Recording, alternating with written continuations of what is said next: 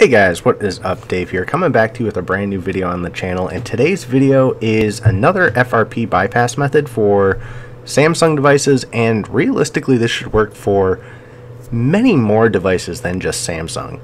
This also shows how to get around if you get the update screen on the YouTube app, so you can't move forward with the FRP bypass. You need to basically use another phone that allows you to hotspot, connect to Wi-Fi, and then be able to disconnect from Wi-Fi. So we're going to go through the FRP bypass right now and learn how it works. So it should go to the video. There it goes. So right here we have an SMT 500 Android tablet. As you can see, I'm connected to the hotspot, which is connected to Wi-Fi. The hotspot does not have mobile data. That makes this a ton easier. So I'm going to go through, I'm going to show you guys that it is indeed FRP locked, and it is also stuck on the uh, update screen for YouTube, so you cannot get around the FRP that way.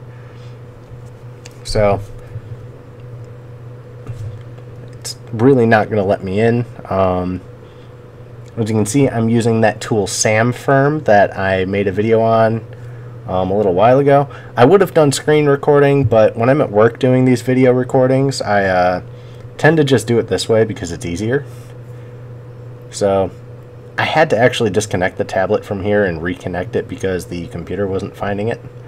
Sometimes you'll have to do that. You want to basically find the uh, tablet model when you hit scan. So as you'll see, it'll say SMT 500 for the actual tablet model.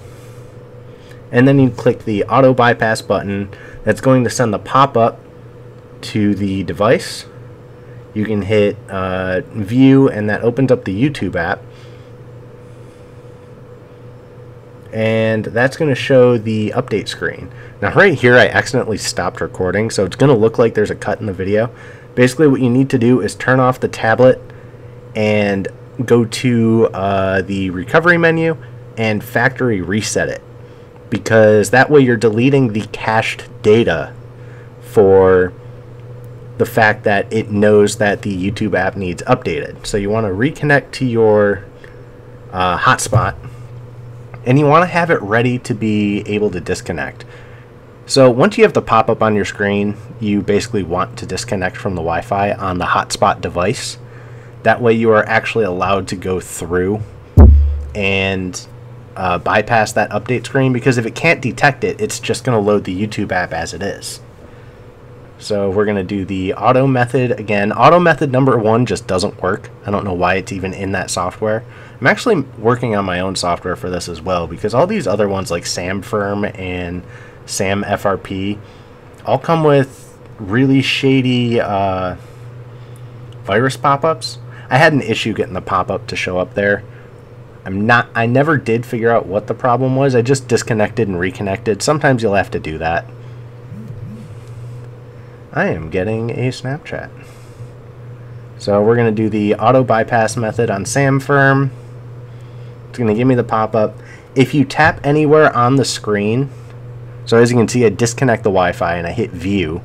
If you tap anywhere on the screen while you're waiting for that pop-up at the same time as that pop-up, you're actually going to cause an issue with the pop-up not coming up. So I think that's what the issue was.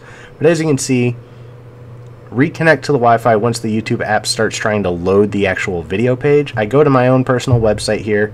I might make these links public so anybody can access them because realistically there's nothing special about these and you can find them elsewhere. You want to go to the Google uh, or the Galaxy App Store. You want to allow it to update.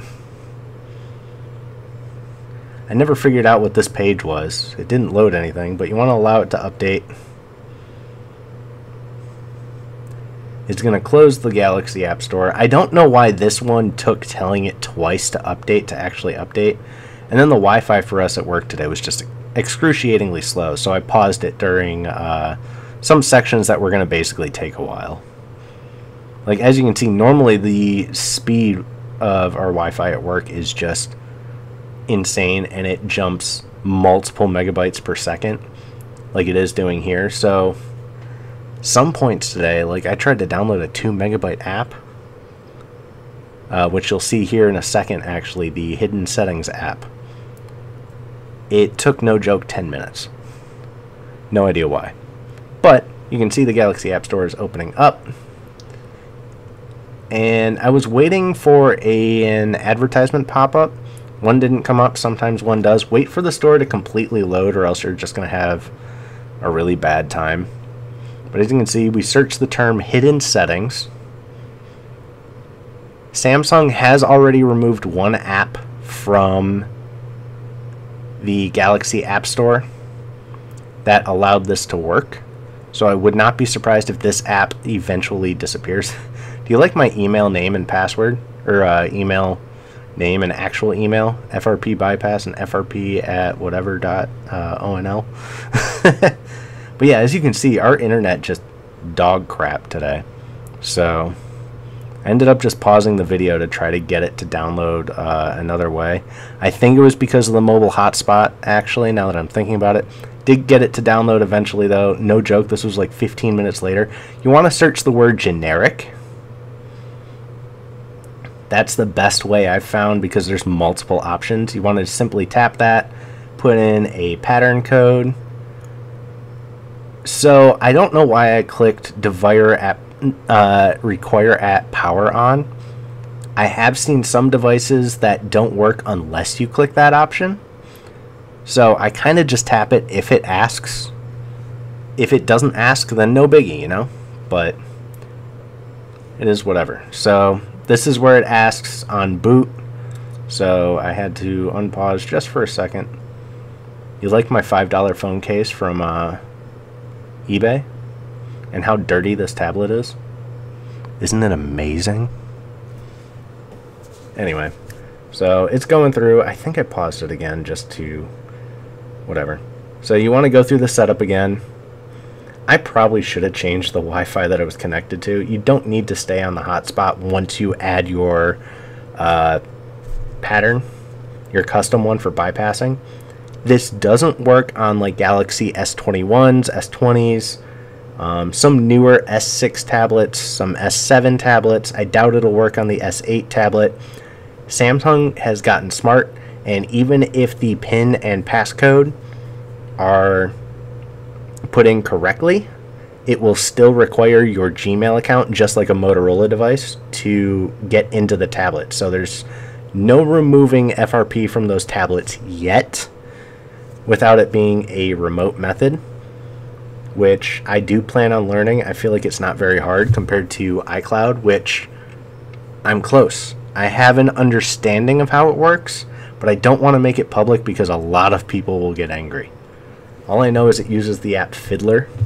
But we're pretty much done, and I go in, I show you that I can remove the passcode, I can delete my Samsung account off the device, and the FRP is fully removed from this device. So it's now possible to resell it without that customer account. And before people think that I'm doing this on stolen devices, these were return devices to like Amazon or Target or something like that. I don't do these on stolen devices. But it's very easy to get around this stuff.